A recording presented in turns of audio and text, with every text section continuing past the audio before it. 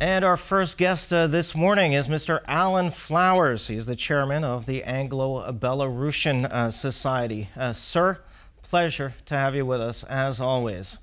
All right, so huge investments announced uh, yesterday uh, by the Polish government uh, on the eastern border of Poland with Belarus and as well as Kaliningrad. Uh, it's uh, Poland's border with Russia.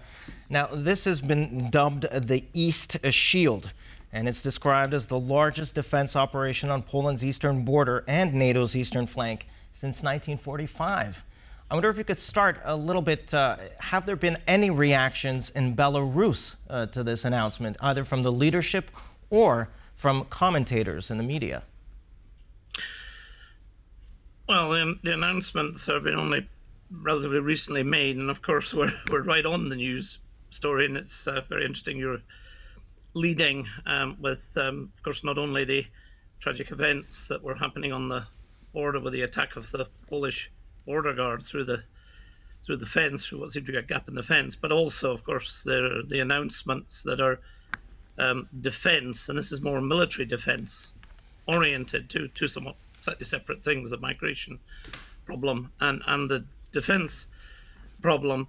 Um, I mean, the reaction uh, as regards the, the defense one amongst uh, um, the, what we'll call the freer Belarusians, the ones I'm able to uh, contact um, easily, uh, is, is, is one of um, no, no surprise whatsoever. Uh, Poland has been calling out the threat, a potential military threat, for, for years of uh, of, of Russia and Belarus uh, working together.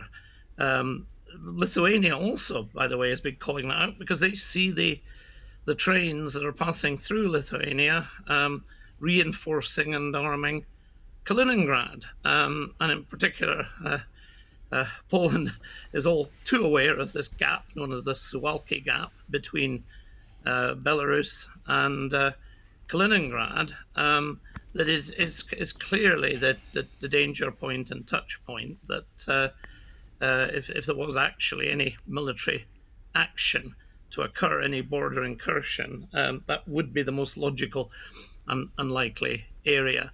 Um, so we we Poland moved very rapidly on the migration question when the first major threat was 2021. Um, there was a length of wall about 180 kilometers that is covering the forest and land area. There's a lot of river. Uh, something about similar length is actually river, the River Bug. So it's it's now, a, from the point of view of migration, it's it's a very well defended border, and we're seeing uh, a nice view of of that there. Um, uh, but from a military point of view, that that's another question, and uh, forearmed is is forewarned, and uh, this is uh, Europe's uh, part of Europe's eastern border. Of course, it runs down through Ukraine, and I understand it's a very comprehensive, large-scale proposal um, covering not only the Belarus border but uh, Ukraine border, and obviously questions what's happening along the the Baltics as as well. And in fact, now um, Polish um, Deputy Prime Minister and Defense Minister Władysław Kosiniak-Kamysz, um, he emphasized also, like you mentioned, the strategic importance of the East Shield, which of course aims to enhance now Poland's defense capabilities um, by focusing on advanced technology, monitoring uh, systems by air. We are talking about barriers and fortifications, but having in mind um, the fact that Poland is facing hybrid warfare here. Um, how do you think, and given the historical context, how do you think does the Shield East compare to previous border defense um, initiatives?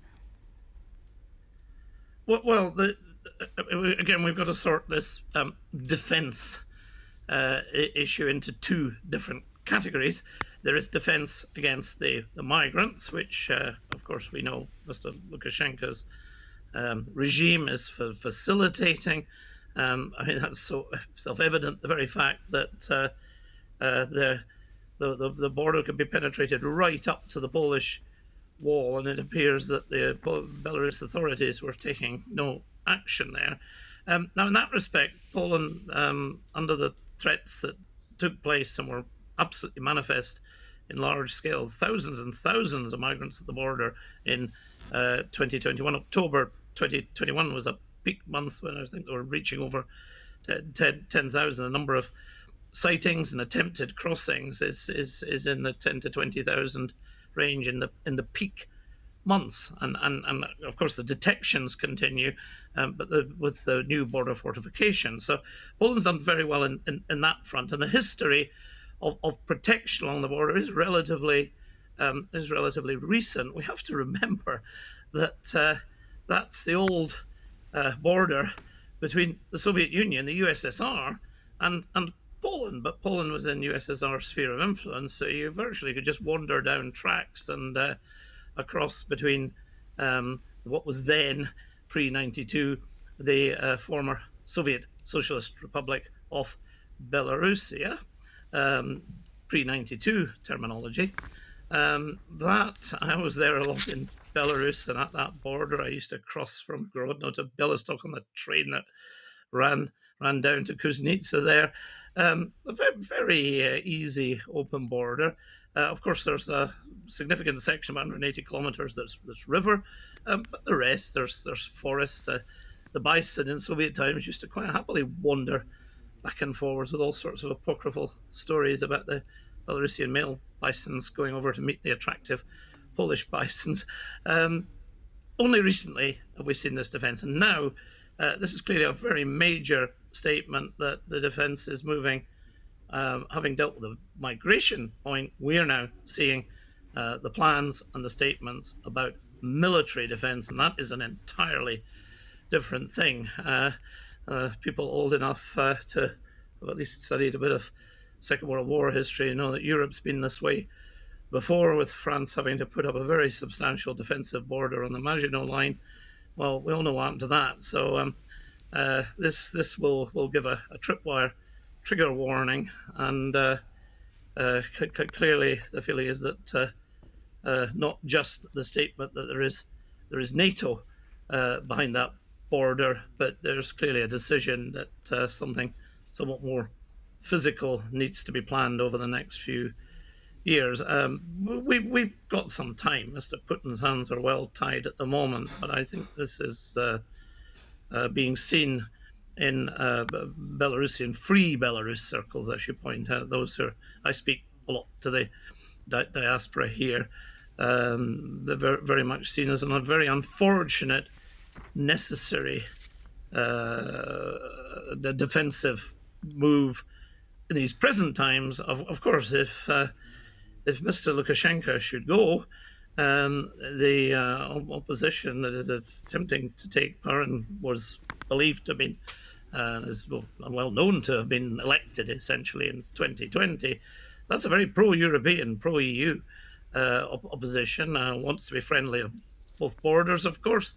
They, they would seek uh, a rapport with a, a newly uh, revised form of Russia, as well as EU. Not necessarily a, a move to EU membership, but certainly friendly relations. So let, us hope that these plans uh, will never really need to be enacted in full because the sooner Mr. Lukashenko goes and a, and a design um, oriented government who seeks friendship on all borders um, is installed in Minsk, then the better for all.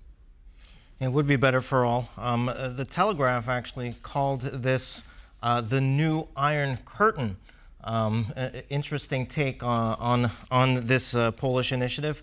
Um, we will take a look also uh, at Ukraine's reaction to this because uh, it's not uh, it's not all uh, black and white here. Um, all right, Mr. Flowers, always a pleasure speaking with you. Thanks uh, so much uh, for joining us this morning.